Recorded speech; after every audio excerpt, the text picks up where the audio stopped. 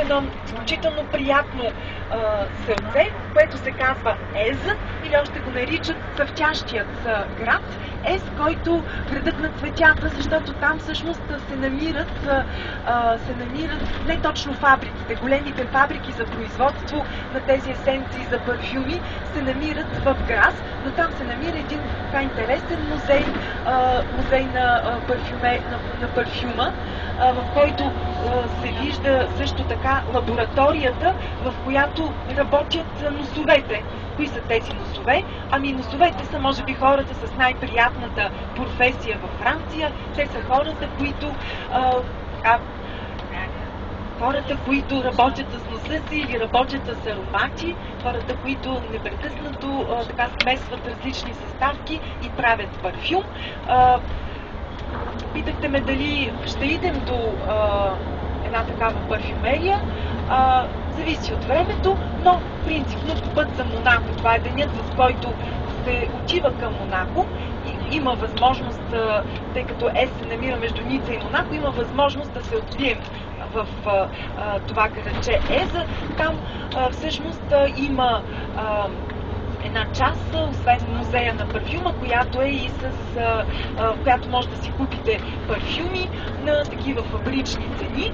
А, така че, ако ни остане а, време, имаме възможност, ще минем през ЕЗ, а, така ще чуете историята на, ще чуете историята на тези, на тези, как да ги нарека, магазини за парфюми. Всъщност, тук в Грас и в Веза се намират фамилии, магазините на големите фамилии, които се занимават с парфюмерии. Това са фамилиите Галимар, Молинар, Фрагонар. Ние, навярно, на път за Монако ще а, се отбием в една а, от, а, един от тези магазини, в който ще видите и лаборатория, в която носовете сами могат да направят парфюм. Всъщност те се срещат с вас, така опознават някои черти от вашия характер и смесвайки различни съставки, които а, изострят една черта от характера или пък скриват друга, много интересен начин всъщност те произвеждат парфюм, който е точно, а, точно а, за вас. А, така че а, навярно а, ние а, ще видим тези магазини по път за Монако.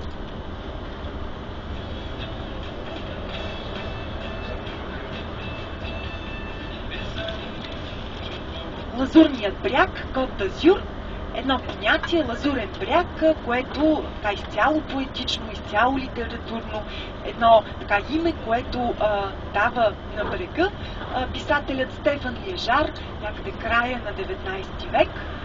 Лазурен защо? Разбира се, заради лазурния цвят на водата. Днес цветът на водата така, на моменти се из, така, изсветлява, но пък а, лазурното море днес е по-скоро черно. Това е така, тъй като лазурният цвят той се дължи на някаква особена реакция на пластовете, всъщност вода, които се разместват и придават а, при наличие на слънце този лазурен цвят.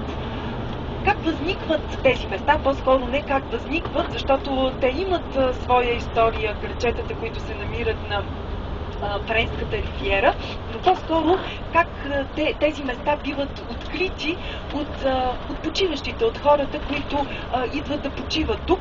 Интересното е, че те всъщност биват открити като зимни места за почивка, зимни места за прекарване на а, места за прекарване, курорти за прекарване на зимната вакансия, биват естествено открити от народни, от народи, а, на които а, така тяхната зима, а, чиято зима всъщност е доста по-сурова. Разбира се, това са англичаните, това са руснаците, така че този лазурен бряг, който е изключително известен като най-модния, най-красивия летен че тук се намират най-красивите всъщност летни курорти, всъщност самото си начало възниква точно, възниква точно като курортчета, в които а, англичани и руснаци предимно прекарват а, зимните месеци. С пълно право, между впрочем, англичаните се смятат за откриватели на Лазурният бряг. Защо с пълно право? А, с пълно право, между впрочем, и а, централния голям булевард в Ница носи името на англичаните, Променад des Англе или английска разходка. Защо това е така? Ами, защото началото на 18 век, 1715 година, един лорд от английския двор, а, това е лорд Кавендиш, лорд Кавендиш и неговата съпруга, всъщност а, а, така, доста а, вече отекчени от дългата тежка зима в Лондон, предприемат това пътешествие тук към тези земи, където са чули, че климатът е много благоприятен и много мек. Ce pays que Dieu t'a con, fleurit sur le capot.